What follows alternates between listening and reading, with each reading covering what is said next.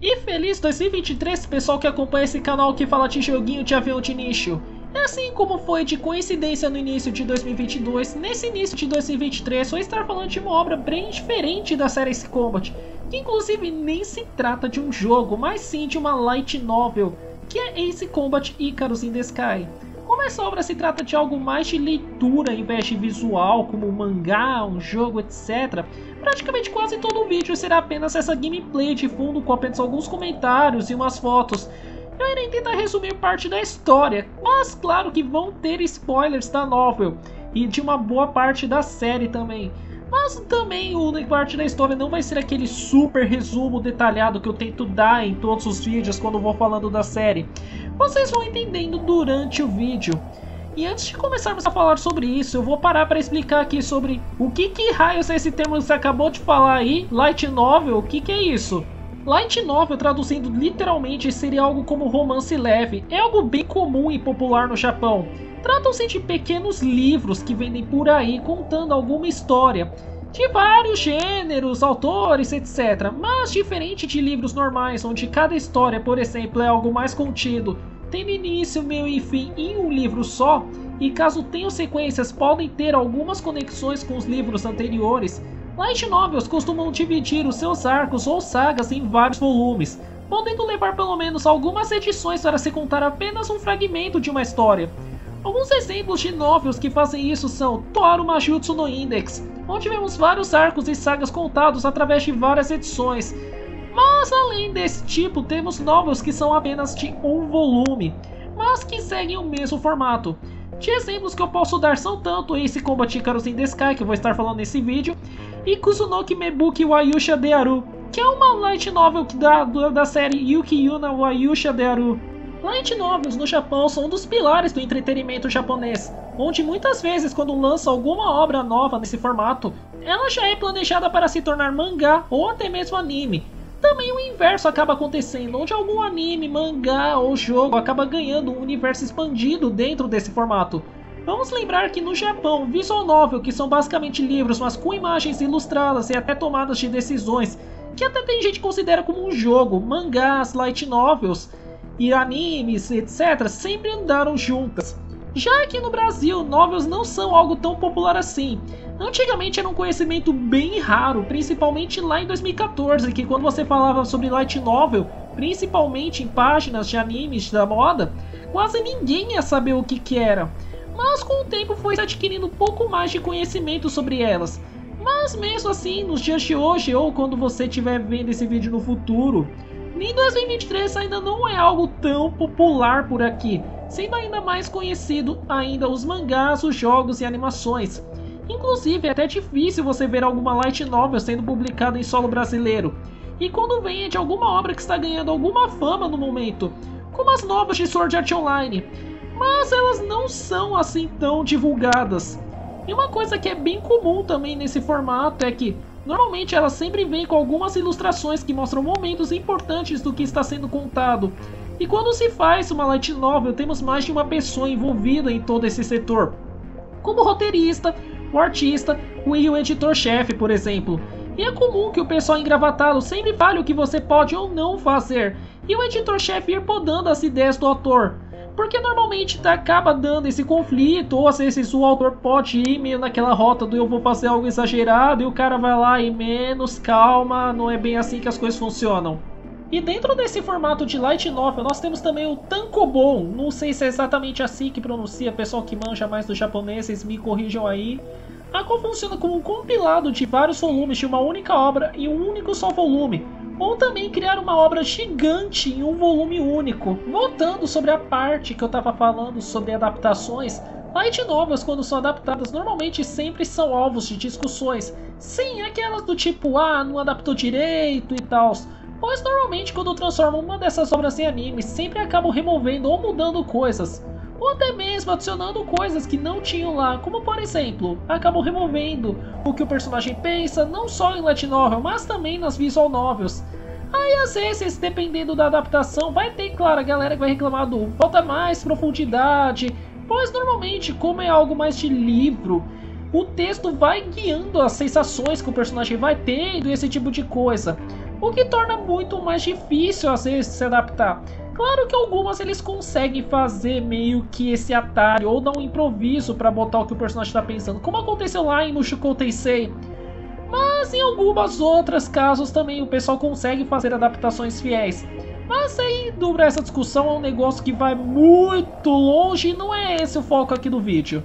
Agora, depois dessa explicação até longuinha aqui falando sobre o que é Light Novel, vamos partir para falar logo do assunto do vídeo, que é o Icarus in the Sky. Claro que logo avisando aqui de novo que vai ter spoilers sim da novel inteira.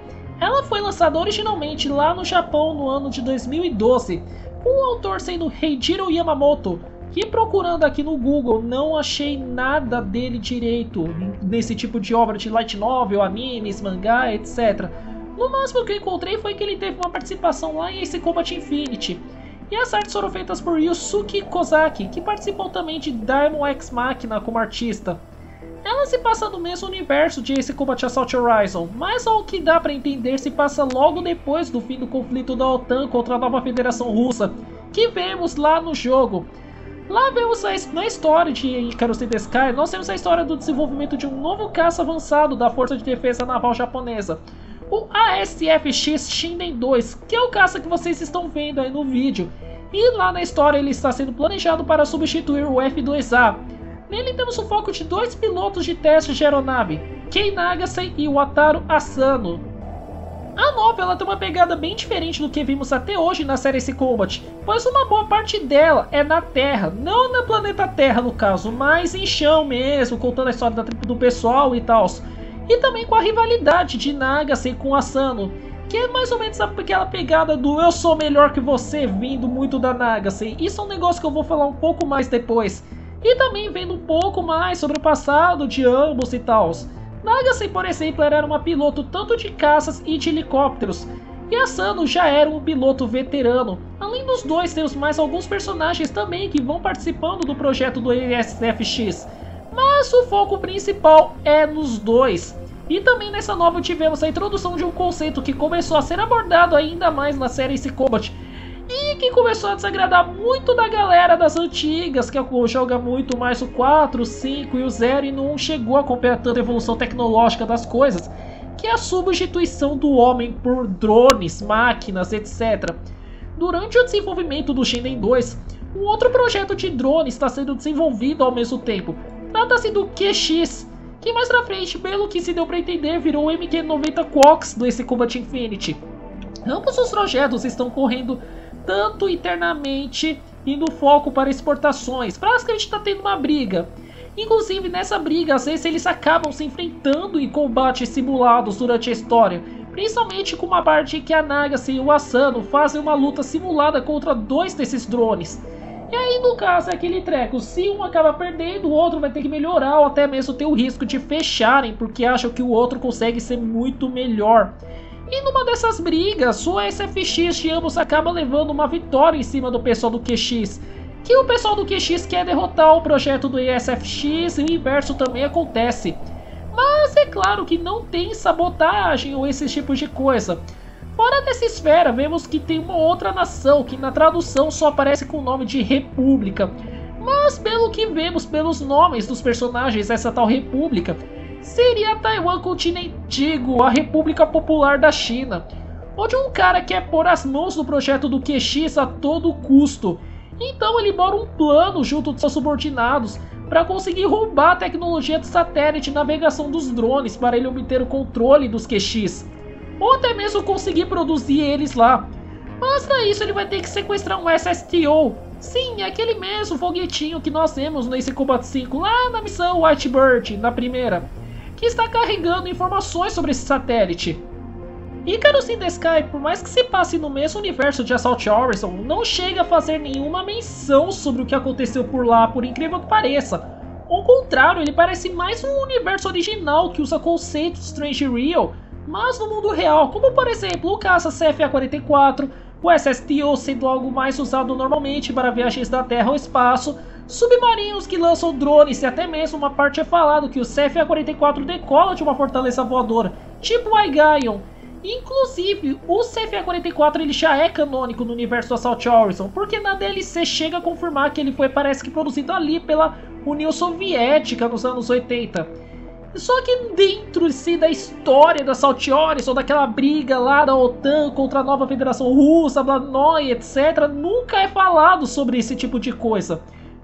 E de todas as obras da série Ace Combat, como eu falei, ela é a mais diferentona do que eu já consumi até agora. Mas mesmo assim consegue ser bem interessante, pois foi a primeira vez, inclusive na série toda, que nós acompanhamos quase todo o desenvolvimento de uma aeronave fictícia Ué, pera aí, como assim quase toda? E as aeronaves que a gente vê como Falcon, Morgan, X-02, etc. Eles não falam? É, então.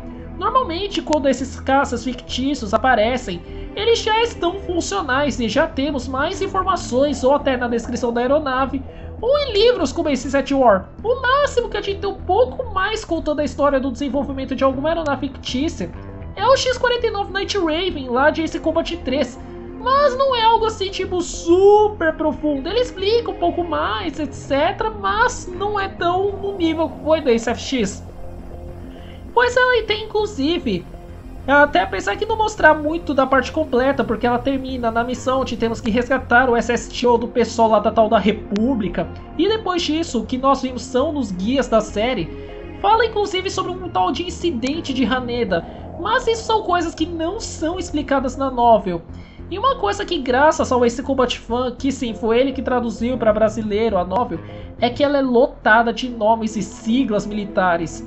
E não é usada uma ou só duas vezes, como vocês podem estar pensando, mas ela é usada várias e várias e várias vezes.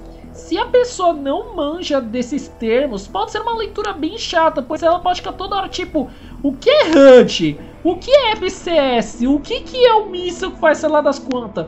E aí tem que ficar parando para pesquisar e ler a descrição para conseguir imaginar a cena. Mas pelo menos ele chegou a botar um pouco num resuminho bem rápido sobre o que, que é cada menção de termos que são usados, tecnologias e tal. Além disso, os termos vão junto das descrições do desenvolvimento de ambas as aeronaves, que às vezes eles estão explicando. Ah, então agora a aeronave ela foi equipada com um treco muito louco, faz uma coisa muito louca. Que isso é algo que até que eu gostei que vai bem fundo no detalhe nessa parte de desenvolvimento. E uma coisa pode ser até meio estranha para quem for ler. Mas uai, esse combate não é sobre brigas de golpes de estado ou sobre guerras entre nações? Cadê isso tudo na novel? Então, por mais que infelizmente não desenvolveram isso tanto, temos a parte da conspiração da República de roubar os QX. Isso é algo que eu até senti um pouco mais de falta na novel por mais que ela seja bacana e tal, ela tem seus defeitos. Depois eu vou falar um pouco mais dos acertos. O maior defeito que eu senti lendo isso é que, cara, sabe a sensação de que podiam expandir ainda mais o que tá acontecendo e tal? Tipo, por mais que eles expliquem bem esse desenvolvimento dos caças, etc. Quando a novel termina, você fica tipo, só isso e o que vai acontecer agora? Porque de onde vieram esses malucos aí? Eles vão dar muito mastigado, mas naquela de, cara, podia ter mais. E também eles podiam ter até expandido um pouco depois, provavelmente ter tido uma continuação sobre o incidente de Haneda e tal. Mas eu sinto que o final podia ter sido um pouco melhorzinho. Mas não é porque tem esse problema, às vezes umas faltas de detalhes ou até às vezes alguma profundidade melhor que vai desqualificar a novel. Outro caso são alguns flashbacks que nem explicam direito, como, por exemplo, o passado do Asano. Ele fala de ter, parece que ter participado de um conflito e ter sofrido de estresse pós-traumático. Mas literalmente fica por isso mesmo, um sonho. Ah, então, ele sonhou que tá lá no meio, aconteceu isso e. Tá, e aí? E a última é sobre essa tal da República. Cara, a primeira vez que eu li, eu tinha entendido que era uma nação fictícia que eles tinham inventado lá pro meio do universo Assault Horizon. Coisa que na hora eu até fiquei surpresa, tipo, podia ser algo similar a Yusia que nós vemos lá no Ace Combat Infinity, que é uma nação criada por uma galera terrorista lá do Sons of Troy e tal. Mas depois de ter um papo com esse Combat Fan, enquanto eu tava lendo, ele comentou que praticamente é ali da China continental. Mas e outro também é que as aeronaves novas nem chegaram a mostrar o visual delas e provavelmente nunca vão mostrar. Como a tal da aeronave gigante que chegou a falar em um momento, ou os drones que são lançados lá do submarino. Agora, dos pontos positivos, o que é mais elogio é que eles conseguiram trazer realmente alguns elementos de Ace Combat mesmo, lá de Strange Real, como eu cheguei a falar aqui várias vezes anteriormente, que foi a marca registrada da franquia, que é essa parte mais fictícia. Por mais que não é algo tão avançado assim. Ela remete muito à tecnologia mais ou menos similar ao início da linha do tempo da série, até mais ou menos ali o período do Ace Combat 6. Pois temos, como falei, o CFA-44 e ainda usando seu canhão eletromagnético, ou para os mais íntimos, o ML, o SSTO que vemos no 5, e algo que também começou a aparecer aqui na série e depois foi se expandindo, que é sobre a substituição de um piloto humano por máquinas, por mais que hoje mesmo, com a gente reclamando que é ah, essa ideia é muito fictícia, ou até mesmo naquela época, é algo que já está tendo por aí, com nações desenvolvendo, por exemplo, alas que não são humanos para formar um esquadrão de piloto humano como líder e o resto sendo drones, que é o que o pessoal está chamando tal do Loyal Women, ou ala loyal, ou até mesmo caças que podem ser pilotados tanto por computador ou humano, como o Tempest da Grã-Bretanha. Isso na época era algo até bem distante, mas depois foi levado um pouco mais desse tema lá no Ace Combat Infinity, como a Butterfly Master e os Quads, e é o tema central do Ace Combat 7. Além disso, tem a galera falando que ah, ele morreu no 5, não tinha essa papagaiada de máquina, nunca teve. Vamos lembrar que desde o início da série nós já tivemos uso de drones. Desde esse Combat 2 e 3, por exemplo, nós já tínhamos drones operando máquinas. Deixa o Zone of the Endless ou Zoe no 2, ou até mesmo o Nemo e o Geopelias que também tem no esse Combat 3. E cara, cada ano que se passa, mais perto de uma realidade bem similar a esse Combat 3 ou X estamos chegando. Algo que lá em 1997, 99 era só uma fantasia, meu, tá aí virando realidade. Inclusive, tanto Icarus in the Sky conseguiu deixar ainda mais interessante esse universo do Assault. Pois, cara, o universo do Assault era um negócio bem pé no chão que dá pra notar. E se o jogo não tivesse tido todas aquelas decisões que desagradaram os fãs para tentar atrair uma galera que não se importa com a série, provavelmente eles podiam tentar trabalhar esse mundo como um universo conjunto de Strange Real. Mas que no final que deu pra ver que todo esse conceito de um mundo real, mais fictício, ou Real Strange, que tem uma galera que chama, acabou sendo jogada tudo pro Infinity. Pois o que nós vemos em outras coisas de livros envolvendo o universo de Assault Horizon, como The Last Chase, a qual conta a história de William Bishop, nós temos bastante elementos que agradam bastante os fãs da série. Inclusive, quem falou que leu The Last Chase disse que tem um F-22 fictício, uma versão criada só para o livro lá na novel, no caso do livro, que basicamente o Bishop pilota como piloto de testes. E também, graças a isso, nós temos vários elementos que agradam os fãs da série. Que, meu, essa parte disso, é a sensação de você sair voando por aí sem precisar ficar focando de assistência e tal. Outro ponto legal é que a novel leva o nome da série literalmente no sentido literal, pois quase sempre nós temos diretamente ou indiretamente um combate de ases, seja na rivalidade de Nagase e Asano, ou no confronto final de Nagase contra Ashi a piloto da CFA-44 da República. Que até voltando no que falei ali atrás, uma sensação que tenho é que eles pretendiam expandir ainda mais esse universo, pois no final ficou aquela vibe de isso vai ter uma continuação desse final que eu achei bem fraco. E como sempre chega a comentar aqui, um anime de Ace Combat é algo que seria bem interessante de se ver. Expandir a série Ace Combat fora desse ramo só dos jogos e ver que Icarus in the Sky e esse mundo pós-Assault Horizon tem umas coisas bem interessantes que seriam algo legal de se ver nesses materiais alternativos.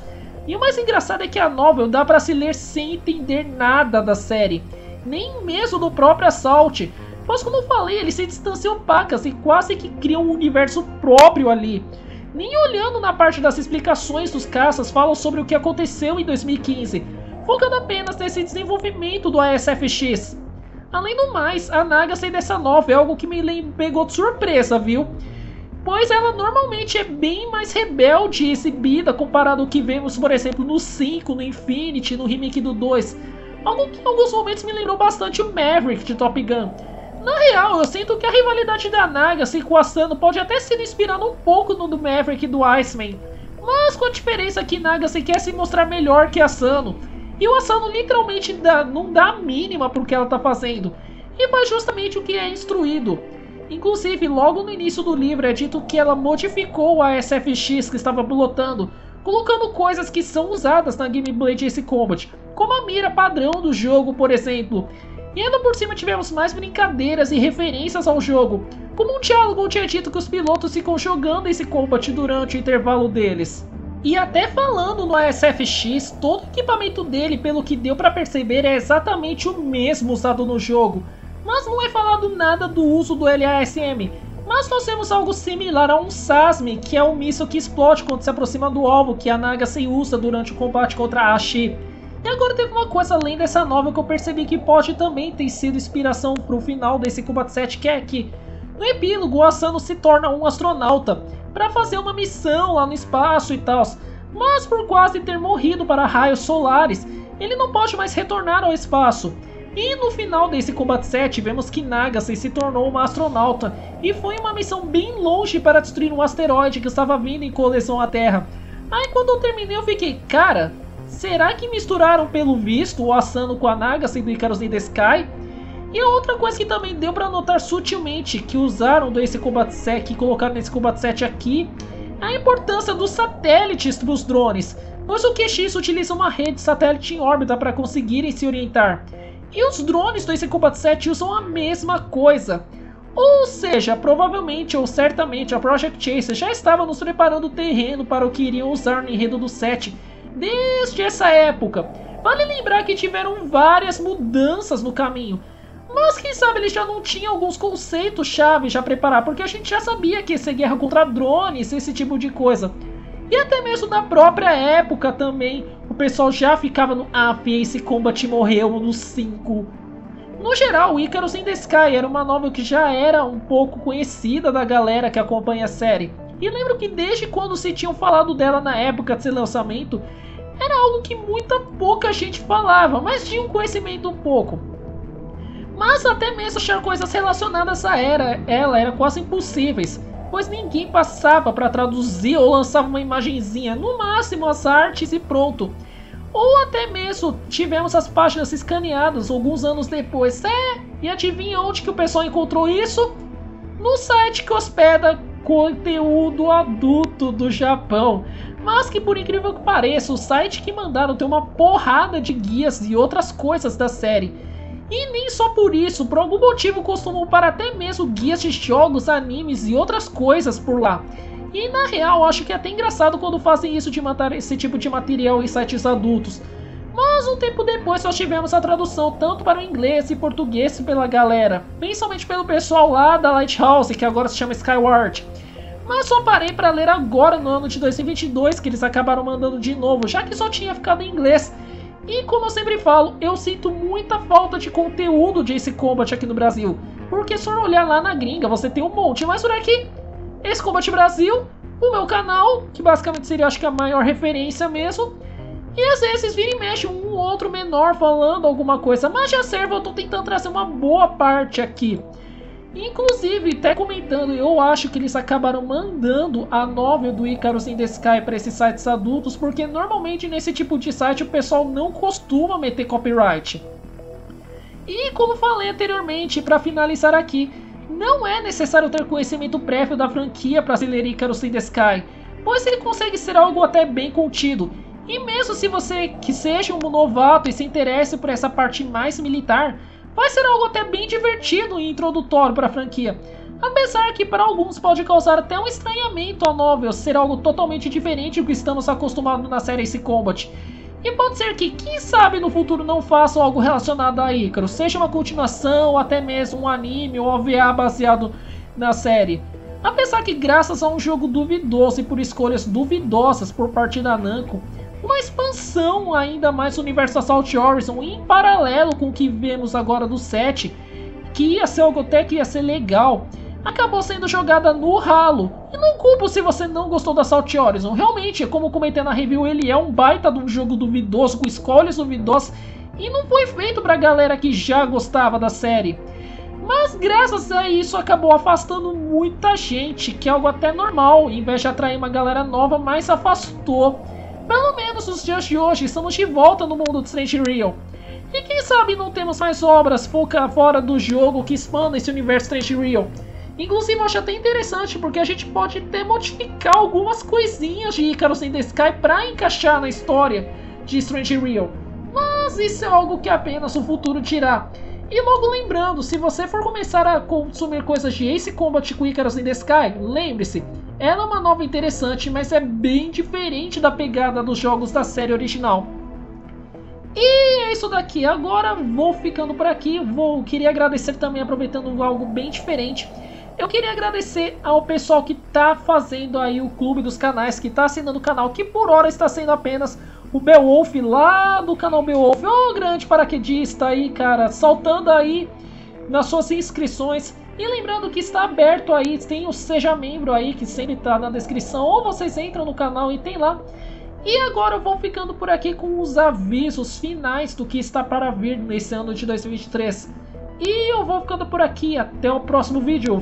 Fui! E mais um vídeo se termina aqui. Dessa vez um vídeo até bem diferente do que eu costumo falar tanto no projeto Electrosphere e no Cafofo do Nelo, que é falando de light novels.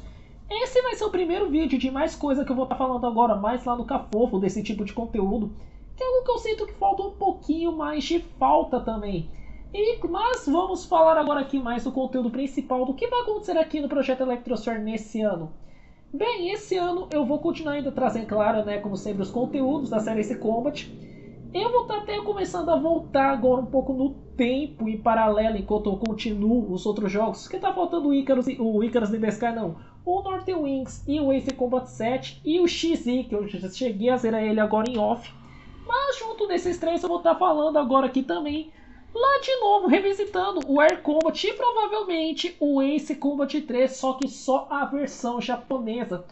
Vão ser remakes, entre aspas, dos vídeos antigos, porque tem coisa que eu vou estar tá querendo comentar de novo, principalmente do que eu acabei descobrindo por acidente um monte de coisinha nova e eu quero comentar também. Eu não vou deletar o vídeo antigo, claro, né, que seria sacanagem, eu vou manter no ar para vocês fazerem uma comparação. E também junto disso vou ter outras coisas bônus que eu vou estar tá falando por aqui. Provavelmente até vou deixar de surpresa também, mas é uma coisa que eu acho que está faltando muito nessa parte da comunidade BR. Claro, vou continuar trazendo as curiosidades e tal. E também, se tivermos mais novidades no futuro jogo da série Ace Combat, eu vou estar tá trazendo aqui o mais rápido que eu puder e também manter vocês informados do que está acontecendo. Tanto aqui também, claro, acompanhe a página lá do Garuda, esse Combate Brasil, porque a gente sempre bota algumas curiosidadezinhas rápidas e menores também, fotos, etc. E agora o próximo vídeo aqui que vou estar falando vai ser provavelmente do Northern Wings. Talvez tenhamos mais um vídeo surpresa que vai estar chegando por aí, porque o Northern Wings eu só, só joguei algumas SAS, eu vou ter que fazer umas gambiarra aí para remular ele. E aí vocês provavelmente vão estar vendo eles por aí em fevereiro ou até talvez já em março. E agora realmente eu vou ficando por aqui, esses foram os avisos finais e até o próximo vídeo galera, fui!